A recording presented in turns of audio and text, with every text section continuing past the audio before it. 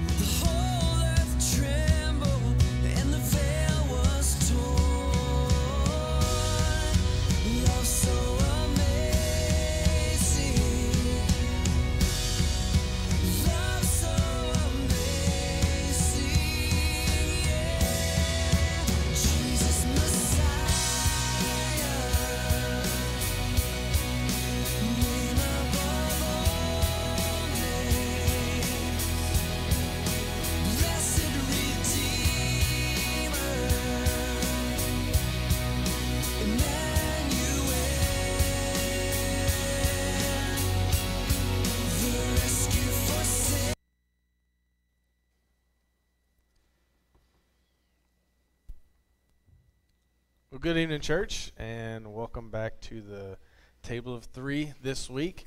This week we're going to be in. Uh, what are you doing? Six feet. You got a long way to go. I thought you were using that for some kind of illustration, man. anyway, we're going to be. Uh, we're going to start out in Second Kings, uh, chapter two tonight as we talk about Elisha. Last week we talked about Elijah. Um, but tonight we're going to talk about Elisha and how he went from plowboy to prophet. And so um, let's read let's read these first 14 verses and then uh, I'll pray. Let's read. Starting in verse 1 of chapter 2, it says, Now, when the Lord was about to take Elijah up to heaven by a whirlwind, Elijah and Elisha were on their way from Gilgal. And Elijah said to Elisha, Please stay here, for the Lord has sent me as far as Bethel. But Elisha said, As the Lord lives and as you yourself live, I will not leave you. So they went down to Bethel, and the sons of the prophets who were with the, who were in Bethel came out um, to Elisha and said to him, Do you know that today the Lord will take away your master from over you? And he said, Yes, I know it. Keep quiet. Verse 4 Elijah said to him, Elisha, please stay here, for the Lord has sent me to Jericho. But he said, As the Lord lives and as you yourself live, I will not leave you. So they came to Jericho. And the sons of the prophets who were at Jericho drew near to Elisha and said to him, Do you know that today the Lord will take away your master from over you? And he answered, Yes, I know it. Keep quiet. Then Elijah said to him, Please stay here, for the Lord has sent me to Jordan. But he said, As the Lord lives and as you yourself live, I will not leave you. So the two of them went on. Fifty men of the sons of the prophets also went and stood at some distance from them. And as they were both standing by the Jordan, then Elijah took his cloak, rolled it up, and struck the water, and the water was parted to the one side and to the other, till the two of them could cross over on dry ground. And when they had crossed, Elijah said to Elisha, Ask what I shall do for you before I am taken from you. And Elisha said, Please let there be a double portion of your spirit on me. And he said, You have asked a hard thing. Yet if you see me as I'm being taken from you, it shall be so for you. But if you do not see me, it shall not be so. And as they still went on and talked, behold, chariots of fire and horses of fire separated the two of them. And Elijah went up in a whirlwind into heaven. And Elisha saw it, and he cried, My father, my father, the chariots of Israel and its horsemen. And he saw him no more. Then he took hold of his own clothes and tore them into two pieces. And he took up the cloak of Elijah that had fallen from him and went back and stood on the bank of Jordan. Then he took the cloak of Elijah that had fallen from him and struck the water, saying, Where is the Lord, the God of Elijah? And when he had struck the water, the water parted to one side and to the other, and Elisha went over. Will you pray with me? Father God, I thank you for your word.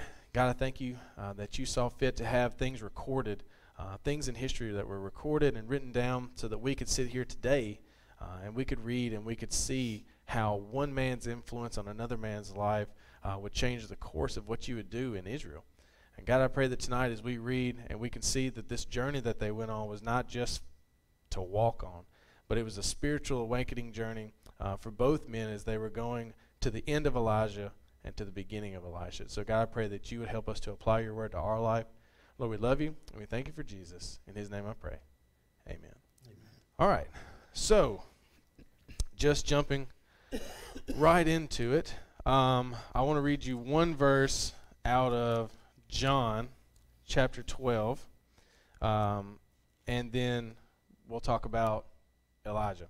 Uh, so, the first thing we're going to talk about is that Elijah was separated for God. And in John chapter 12, in verse 25, it says, uh, Whoever loves his life loses it, and whoever hates his life in this world will keep it for eternal life. If anyone serves me, he must follow me, and where I am, there my servant will also be. If anyone serves me, the Father will honor him. And so I want I want to keep that verse in mind as we go through, and we'll go back to it at the end and kind of tie it in. All right? So, but the first thing that we have to realize is that Elisha was separated for God. Because when we first meet Elisha, um, he was plowing. He was a plowboy, uh, as I said for the title, right? Um, and so we first meet him. He's a plowboy, uh, but we know that God doesn't look and see what we are. God looks and see what we could be. And so, not a man who plows seeds um, to grow in the ground, but a man who would plant seeds of faith in the hearts of men. And uh, and that's in 1 Kings chapter 19. Uh, if you want to go and read that. but as you go through that story, um, Elijah passes by, lays his cloak on him, and uh, and then that's the signification of his calling, uh, because Elisha was he felt alone and he felt uh, abandoned um, after his amazing victory on Mount Carmel. He becomes scared and fearful of Jezebel and the threats on his life, and then he goes and he, he, he goes by himself and he feels like he's the only prophet left and so this is it's such a, a, a god takes care of us so much. God takes care of us so much in the fact that that he cares about even that small thing like that with elijah. You know he told him you're going to go and anoint this king and go and anoint this king. But then he says and you're going to go and anoint elisha to take your place. And the first thing he did instead of going to anoint these kings instead of being uh, going to anoint these kings, he went and anointed Elisha. I'm not doing anything. I think it's you. Uh, no, not me. Not again. That's okay. Keep going. So, um, oh, hang on. Let me get my train of thought back. Let me throw something in. Go for it. And the call of Elisha that, that most people know, where uh, he puts his mantle, Elijah puts his mantle on Elisha, and uh, and that's his part of his call. He was out plowing, and the best I can tell, and in, in, in reading about this, is, is he had 11 team of oxen plowing, and he was guiding, he was plowing with the 12th. Well, somebody had 12 teams of oxen, uh, they were somebody that was pretty wealthy, probably, pretty well off. So I see that Elisha was probably a wealthy man. Uh, he asked Elijah if he could go back and, and uh, tell his parents by before he left and started his journey of ministry. So um, he had wealth, he had family, and then when they when they uh, uh, kill all these oxen and have this big barbecue here, and, and they feed the people, it looks like he had a lot of friends. So, you know, when God calls you out, uh, you know, He's going to call you away from something when He calls you to something, and uh, we see a man here who walked away from wealth, walked away from his family, walked away from friends and a community. He gave up a great deal, And oftentimes, when God calls you to ministry, God calls you to service, uh, it's going to cost you something. It's going to it's going to be it's going to be kind of a hard thing to do. Uh, but He's going to bless him. He's going to use him. And uh, so, just about everybody I know that God has called out, uh, there's been some pain, some separation. So uh, I thought that was worth mentioning there. Wh- And one thing that I thought about as I read the story, and I think you might have touched on it, is uh, I'm thankful that God, I, well, that God sees us in a way that we can't see with physical eyes. Because you think, you know, this man of God, Elijah, passing the mantle down to a farmer. Um, but, you know, it, it, when we just look and see a farmer, God saw the potential that was there. The same way with Gideon. You know, we all know the story of when the angel showed up and called Gideon a mighty man of valor, but Gideon was Yeah. down in the hole. He was hiding because, you know, though we see with physical eyes and we see a coward, God saw the potential and, you know, for uh, Gideon to be the, the judge that would um, free Israel. And then even, you know, with, with Peter, um, whenever Jesus called him, you know, the rock, Petros, well, at that time, He was anything but. Oh, exactly. yeah. Yeah. I mean, and, Pe- and and I would argue that Peter didn't become that person until Acts chapter two. You know, but but Jesus he sees the potential. God saw the potential there, and he really called him something that he wasn't at that point, but he could be.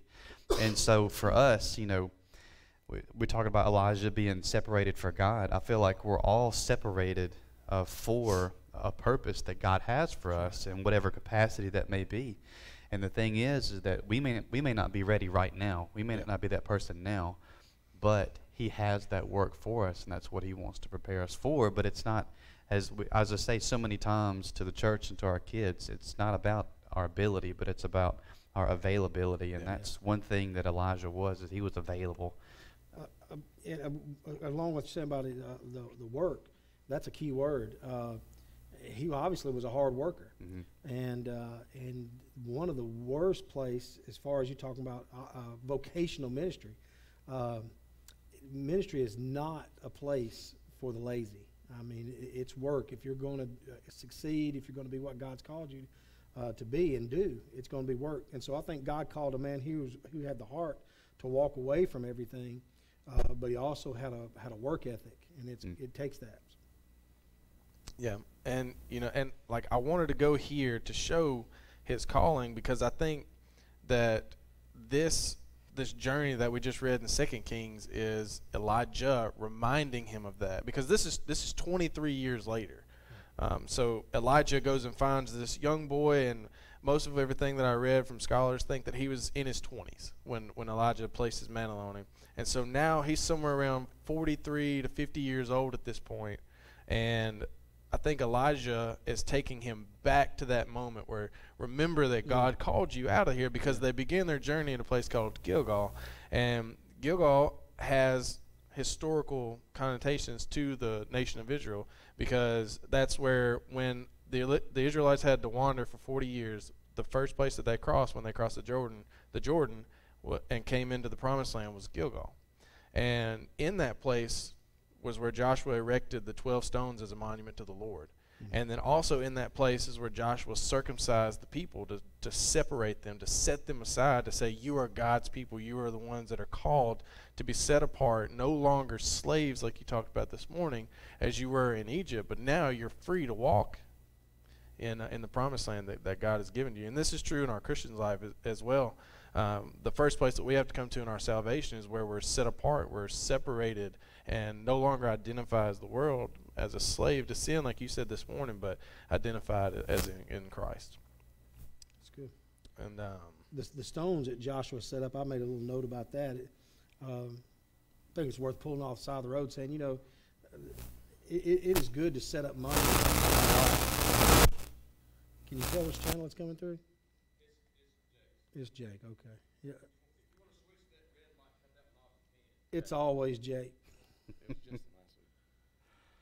All right. He was affecting my microphone last week. That's what it. was. uh, they set up the stones as a memorial, and it's good in our personal lives to set up memorials uh, of some sort uh, to know history, our history, our family history, as a church, our church history, to, to, to celebrate things, number one.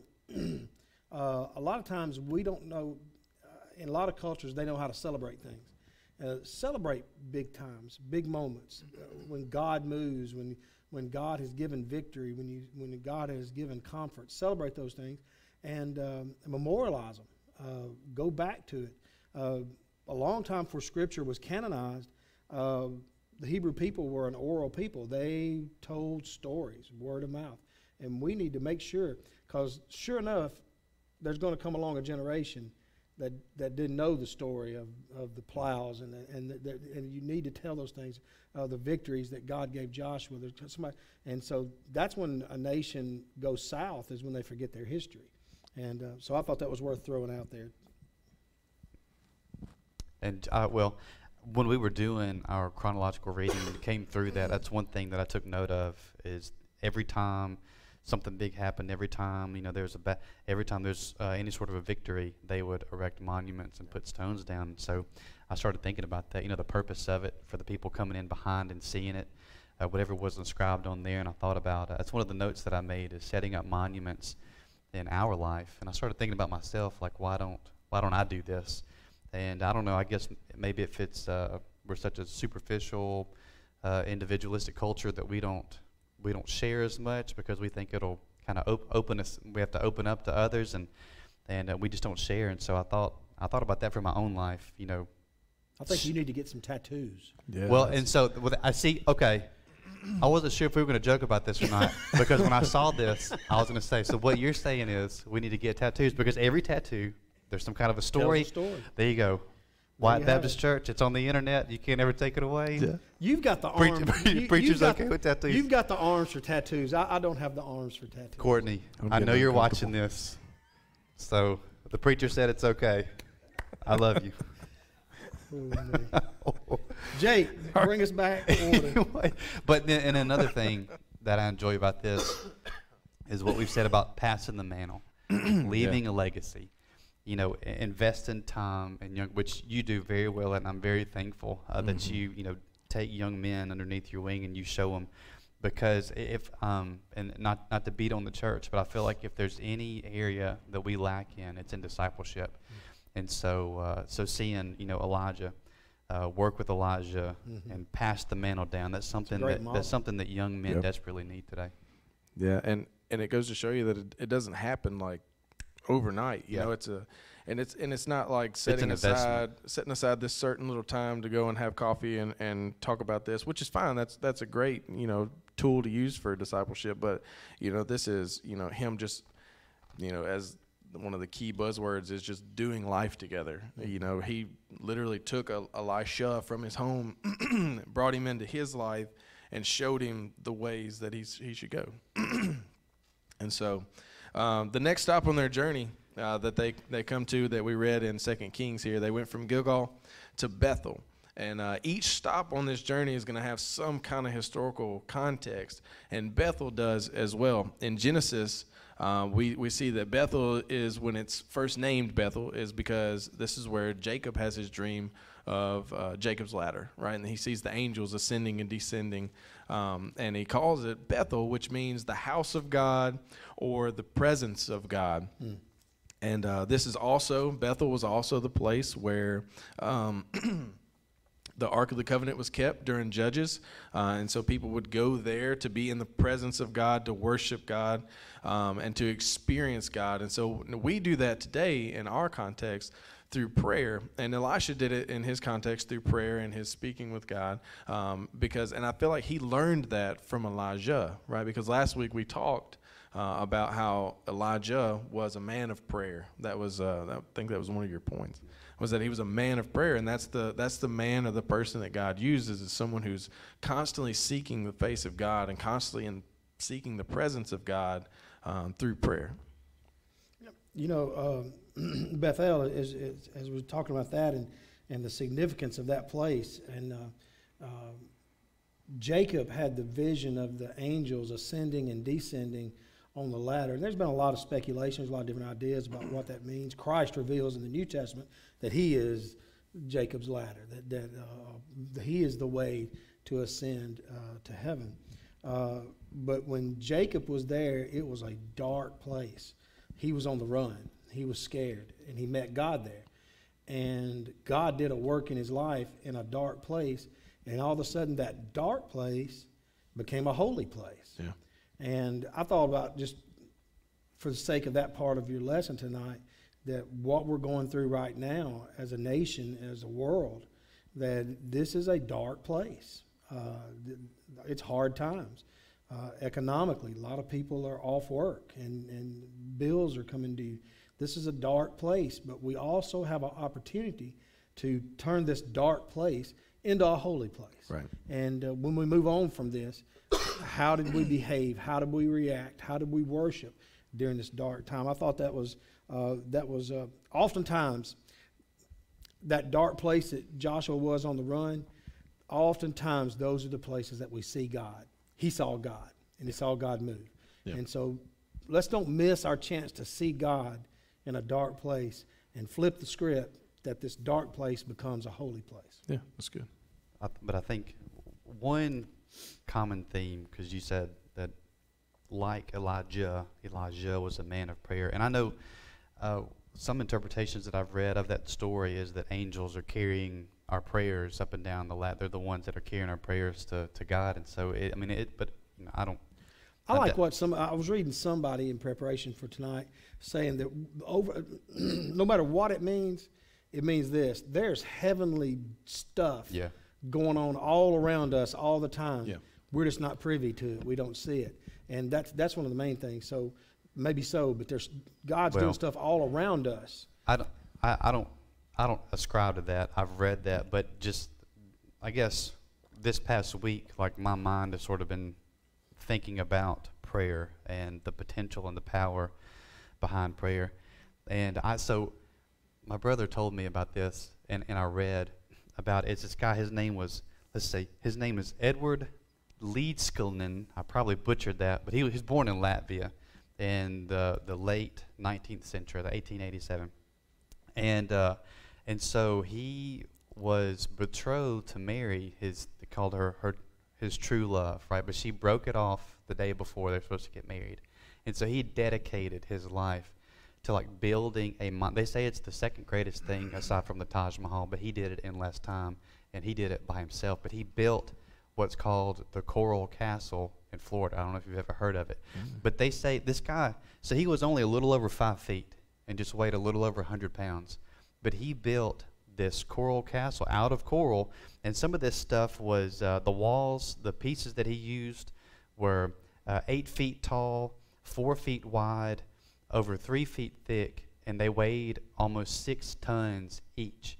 And this guy did it by himself. He didn't even have a vehicle, he had no machinery. Uh, he used to ride a bike into town to get what he needed. And so, and, and he worked at night. And I mean, they've likened this thing to like a modern day Stonehenge or like a modern day pyramids because he did this alone by himself without machinery. And he worked, he's a very private person, so he worked at night. And so people were wondering, how did he do this?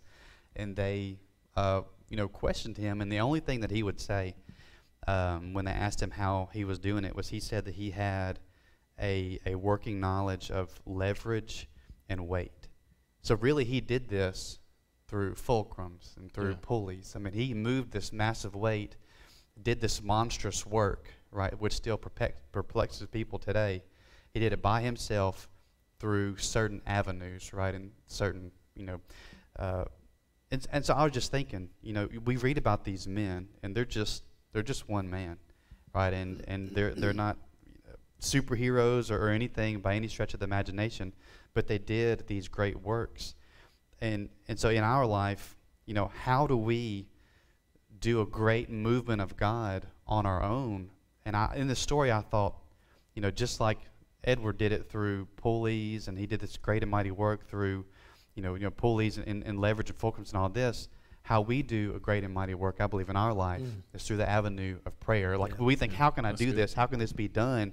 This monstrous work, this huge thing, but it's done through the simple avenue of of prayer. Because you think we have the access of God, right? Hi- His riches, His presence, right? All His power through prayer. And I think Elijah realized this. Elijah realized this, and and and I think you know all great men of God uh, they were they were prayer warriors. They, you know, Martin Luther it said would spend he.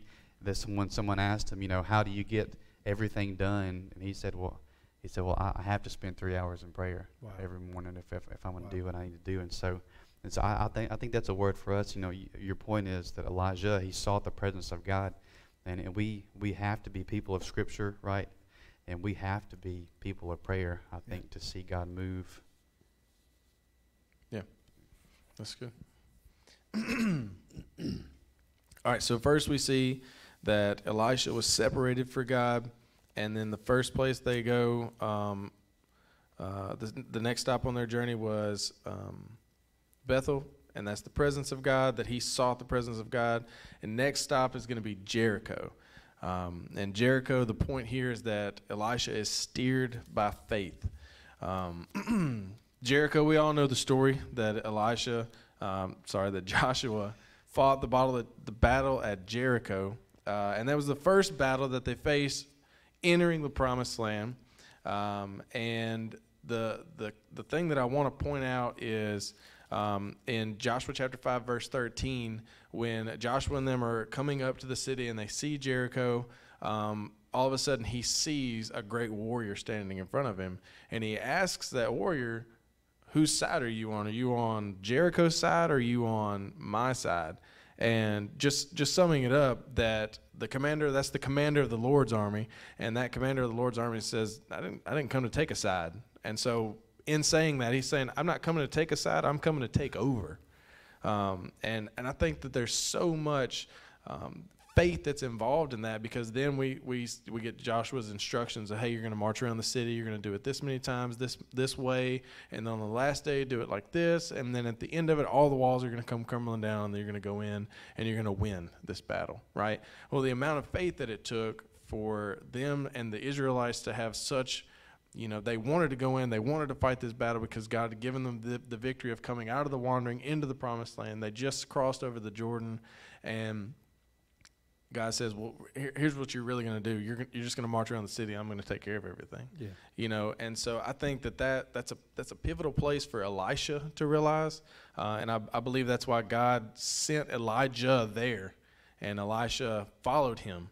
Uh, is because each place that they stopped, being a prophet and being a man who would study God's word, he knew the historical context of each and every single one of these places that they stopped at. Mm. And so he knew that Jericho was a place of faith. It was a place of faith for the for the Israelites and for him and for him to realize, okay, I, I started out as I'm, I'm being separated by God. I need to seek God's presence, and now God's wanting me to be steered by faith constantly. And I, I think that you know that applies in our walk. That we rem- we need to remember that in the battles that we face, that God wants to fight those battles for us, but He still asks us to participate. Yeah. Just like with the Israelites, he, He's saying, "I come to take over. I'm come to fight this battle. I come to win this battle, but you're still going to have a part of it. You're still going to do something." Right. You know. Yeah, and, I mean, God could have done it. You first got the question, you know, this this warrior is that a pre-incarnate Christ? Uh, uh, some would some would say it was because uh, he didn't when Joshua more or less worshipped him, he didn't reject it, and uh, he he kind of took that, uh, told him it was holy ground even, where he was standing. But here's the thing: is God goes before these people in all these battles, but they still have to get down on the field. And a lot of times we, we love the part about uh, you, you shall wait upon the Lord, uh, but we got to remember the mount up. Yeah. Uh, mount up with wings as eagles. Uh, run don't grow weary. They still had to uh, march. Uh, they still had to blow trumpets, and they still had to shout. Um, why didn't God just go ahead and snap his fingers, so to speak, and just give them the victory? Um, oftentimes, we, um, I don't know if lazy is the right word, but we, we, we do our part in due diligence and prayer, but there comes a time where we have to mount up and we have to get on the field and be bold. And uh, God, it's God's victory. God's going to give us the victory. And, and I think it's funny when he asks them to do stuff like carry pitchers with, uh, with uh, lamps under it and break the victuals. And he asks them to do crazy stuff like walk around the walls. It's almost ridiculous that that this did not bring the victory. Uh, I brought the victory. You brought the obedience. Yeah. And so that, I, that's pretty interesting. That's good. And I found also, you know, talking about faith and and f- you know, he was steered by faith. That you know, it. How I am is, and many of us, I think, we want like the ten-year plan. You know, we want to know the next Yes. 12 steps. Like I, we want to be able to see down the road and plan. And I've learned that walking in faith is, you know, walking by faith, not by sight. It's not that. You know, and even Scripture says, you know, He's a lamp to our feet. He's a light to our path. You know, He's not a He's not a beacon or a spotlight showing us the rest of the road, but He's showing us those next few steps. And, and we just have to obe- be obedient to, to believe in Him and, and to walk that path. And so uh, He was, you know, being a lamp. You have to be have to be trusting, and you have to be walking and uh, see the same thing, um, you know, in, in Elijah. I've, I've got to throw a story in on that. Um, it, this goes back to the calling, uh, and I think what we're talking about here is is being flexible. I feel fairly certain that this was not Joshua's battle plan. Uh, That, that a, a great warrior like him would have never dreamed this ridiculous plan up. Uh, but he had to be flexible, and he kind of had to go with the flow. And it wasn't what his plan was, but he listened. Uh, Tony Evans tells a story. Uh, I was reading one day uh, that he his assistant makes his itinerary, books his planes, uh, his times, everything. And so he he was traveling somewhere, and he, he was at the airport there in Dallas, and he was getting ready, and his name came over the intercom, and he'd gotten to his gate and was ready to go, and and Dr. Tony Evans, uh, the white courtesy phone, and he's like, that was my name. And uh, unless there's another Dr. Tony Evans, uh, he, so he went and found the courtesy phone, and it was his assistant. And there's been changed. Uh, they bumped you from this flight. You've got to get over to this other gate on the other side of the airport, and you've got to get there now. So he did. He, he, he, his plans changed, his direction changed. He went to the other gate, got on his plane, and made his destination. And he said, you know, that's kind of like the calling of God. Um, when God calls us and God saves us and God redeems us and God even sets us aside for a purpose, we've got to be listening. Um, he said if he hadn't been listening for his voice that day, he wouldn't have made his flight and he would have he wouldn't have met his engagement. But because he heard his voice and he was obedient, he went and heard, hey, there's there's a new plan. The old plan's out the window. Here's the new plan. And man, I think you can take that and apply that to our lives dead on. Yeah. That we need to be obedient, but we need to know that sometimes God's going to change the plan on us. Yep. That's good. All right, and then uh, their last stop and our last point tonight is um, that Elisha had the sight of heaven. And so the last stop on their journey, if you're reading along in uh, Second Kings, was that they came to Jordan, and we all know that Jordan has its significance. Um, when the Israelites came to it. They crossed Jordan uh, to go into the promised land, uh, and it's a signif- signification of death and resurrection. Uh, it's the end of something and the beginning of something new. That's good. And so for Elijah and Elisha to cross through Jordan, it's like I said at the beginning, it's going to be the end of Elijah, but it's going to be the beginning of Elisha. Uh, it was here that Elijah finally asks him, What do you desire? And so he had to go on this entire journey from Gilgal to Bethel to Jericho, now at Jordan. Finally, here at Jordan, he says, Okay, ask me, what do you want? What do you desire from me in this? And Elisha's response is, I mean, it's just, it's a, it's a beautiful response. He says, I just want a double portion of what God's given you. And that, to me, that's amazing. You know, like, It's a tribute. yeah, absolutely. Because you've done so great and mighty things, and I've seen it. He's seen it in the 23 years that he's been with him, and he's like, if God would only just bless me with a double portion of what He's given you, mm. so that I can do the same things that you've done moving forward to continue this ministry. And so, but the, the key here is that after giving his response, Elijah says, Well, if you're able to see Yes. me taken away, then God will give you what you ask for. And so the, the magnificent part here is that he sees it, right? He sees the chariots of fire. He sees the horses of fire. He sees Elijah being taken away. He sees it. He actually sees it. The vision, the sight of heaven, that spiritual thing you're talking about with the Jacob's ladder, that there's spiritual things going on That's right. there's spiritual things going on around us and he never lost that sight. And I think that's a key to us too. Is that we can we need to constantly remind be reminded that we're set apart for God. We need to constantly be reminded that we should seek God's face. We need to constantly be reminded that we're supposed to be steered by faith, so that we never lose that sight, that spiritual sight, that spiritual awakening, if you want to call it that. Whenever you accept Christ and you receive salvation, and because from this point on, Elisha saw the world differently. Um, if you go into Second Kings chapter uh, six, let's let's turn there. Second Kings chapter six. I just want to read. There's it's three verses, starting in verse fifteen. Um, and so, so to set set the stage, Elisha is out, and there's an army coming towards him, and his servant goes out, and, and this is starting in verse 15. He says, When the servant of the man of God rose early in the morning, and he went out, behold, an army with horses and chariots was all around the city. And the servant said, Alas, my master, speaking to Elisha, what shall we do? And he said, Don't be afraid, for those who are with us are more than those who are with them. And then verse 17. Then Elisha prayed and said, O Lord, please open his eyes, the servant, that he may see. So the Lord opened the eyes of the young man, and he saw, and behold, the mountain was full of horses and chariots of fire all around Elisha. He never lost that sight, that spiritual sight. He could, he could see what his servant couldn't. Uh, what does that mean for us? Again, it'd probably make us faint dead away if we knew. I I have foolishly asked for God to, because this is one of my favorite stories, man. And I foolishly asked for God before to give me these same eyes. But then I guess with, with time and age and more wisdom, I've thought it would terrify me Yeah. if I Yeah. actually did see You the saw stuff beyond that- that yes. veil, yeah. Um, w- once you start to see things, it, I, I, I would equate that. What, what does this mean for us? This, this, because twice now we've talked about seeing something. Oh, uh, If, if you see this, is I, I- the way nuts and bolts I would apply that to us is, is having is our worldview.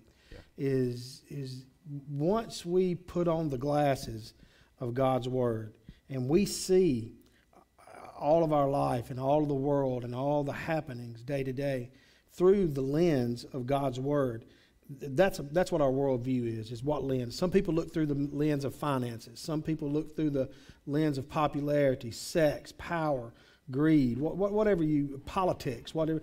But once you put on the, the glasses and, and your worldview is through God's Word, um,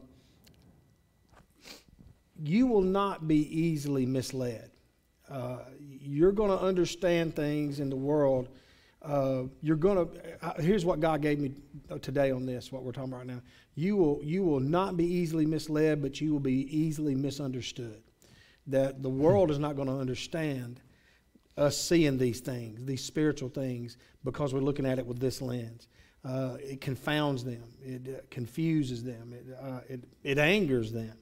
And so, as we come to this, I just thought those two instances of talking about the sight, the spiritual eyes, um, we can have that, but it's it, it, in, in our day-to-day broken world, it's our worldview. What glasses do we put on? Uh, oh, that we would desire to put on those glasses that Elisha wanted to put on, and he wanted a double portion of the blessing. He wanted to see uh, the things that God is doing all around us, and get to peer behind that curtain. Oh, that we would desire uh, to have a biblical worldview. That we look, we look at politics, election coming, big, big election, crazy year, 2020, this uh, pandemic going on. Okay, we're here. What are we going to do? Well, we got to look at it through the right lens. Right. Uh, and when you do, you get to see. Wait a minute, this is terrible, but look, I can see what God is doing. Yeah. So. Uh, that's, that's my take on that part of it. I was excited about getting to share that. Yeah. Well, you know, I, I thought about what Col- what Colossians says of like where our mind is. You know, set our mind on things of heaven, not the things Chapter three of this world. And so it's you know, so our, our sight of heaven is where's our and where's our mind? And, and when I read through this, I've had that that Brandon Heath song that "Give Me Your Eyes." I, I don't know what the title is, but it, and, and the the and the song is about him asking God to give him his eyes so that he can see Mhm. things and situations and people the way that God sees them. And so just thinking about us, you know, for today, if we have spiritual eyes, then we don't see a rich person and a poor person. We don't see somebody that can do something for us and somebody that can't do anything for us. We see people that Jesus loves, people that Jesus died for, people that, that Jesus wants to save and redeem and, uh, and, and grow. And, you know, just bringing it in for today, um, the world we're living in now, you haven't made mention of toilet paper, but when we have spiritual eyes, when something goes on, we don't run to the grocery store and buy everything up so that others don't have. No, That's right. we not not we don't see this as an opportunity that we need to to hoard for self-preservation, but we see this as an opportunity that That's there's right. a world that is hurting, there's a world that does that they're confused, That's right. and this is an opportunity for us to meet real needs That's and to share the gospel of Jesus Christ. And Yeah. so it's all about where our head is. It's all about what I, and use perfect is what is our what is our worldview, our, and of course it should be biblical. We should be viewing things with spiritual eyes, seeing things as uh, as God sees them. So Yeah, that's good. You Good know, stuff. and and you know, with the worldview, I think, like you were saying, like it gives us a hope. You know, like we don't look at this like, oh, this is it, this is the end. We can look at this and take a step back, almost remove ourselves, and say, okay, God, what are you doing, and how can I get involved in this? And if it is the end, right, and if yeah, I mean, it's like Shadrach, Meshach, and Abednego. Hey, our God can get us out of this fire, but if, If He they don't- doesn't, yeah, He's still God. We're not gonna I'm good either you. way. Right? That's right. That's right. Um, you know, and like I, I, I spoke with one of our missionaries that we went and visited this summer, uh, just you know to check on them, and I said, "Hey, how are y'all doing? Is everything good over there?" And he's like, "Hey, the people are acting crazy," and he was like, "But." You know, God is good. And one thing that he said, and it stuck with me, and it goes with the worldview that we're talking about. He said, Everyone is scared right now, and they're looking for something. He said, "Rain Jesus and reap the harvest." That's awesome. And uh, and I thought, man, that is so good. That and, and I told him I was like, dude, I'm going to use that. I'm gonna I don't know where or when, but I'm going to use that. And so he said, rain Jesus and reap the harvest. And that I mean, that, and that's that's good. I think you just used it. Yeah, I did. Which it wasn't in my notes, so there we go. All right, so to bring all this to a close, um, just that one verse in John chapter 12, one more time, he says, If anyone serves me, this is John 12, 26, if anyone serves me, he must follow me, and where I am, there my servant will be also. And if he serves me, the Father will honor him. I think this verse applies very well to what we just read and studied through in 2 Kings chapter 2. Uh, because I think this entire journey that God took Elijah and Elisha on was a remembrance tour almost of, hey, I set you apart. All these years you've learned things through prayer, and all these years you've learned things through faith.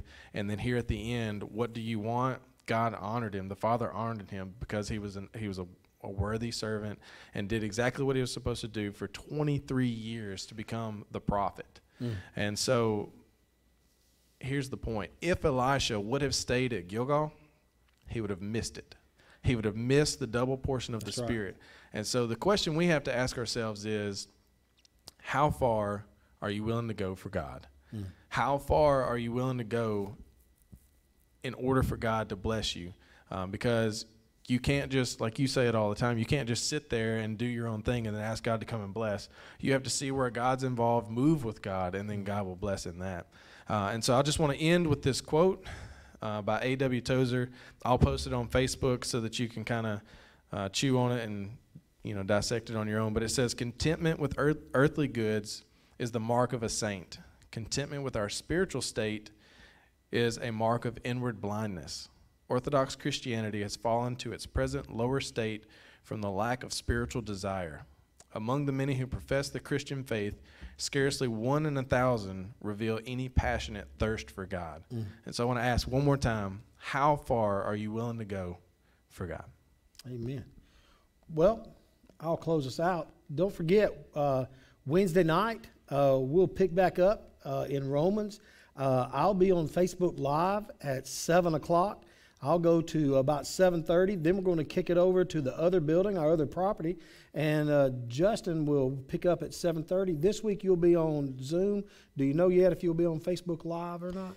Probably what we're gonna do is if I'll either, uh, yeah, well, I we'll probably record and then I'll post our stuff to Facebook on Thursday. Okay. So uh, download the, the young people. I think we had a, a good number of young people last week at 7:30. Uh, download the Zoom app. Join Justin. Any questions? He'll be glad to answer them. And uh, then we'll be back here Sunday morning. I want to ask you to be in prayer uh, for this uh, virus, that this thing will end, that it'll start tapering off, and we'll all be back together soon. But I want you to know, myself and other preachers and churches, uh, God is using this time. It's so evident. And uh, the, the views that people are having on these things, the, the response that they're getting back, uh, people calling from uh, distant cities and asking how to be saved. God is using this. And uh, he's, he's on his throne. Uh, we're not, but he is. So uh, we'll see you Wednesday night, 7 o'clock for the, the My Bible Study, 7.30 for Justin. And uh, we will see you then. So we'll bye-bye. of all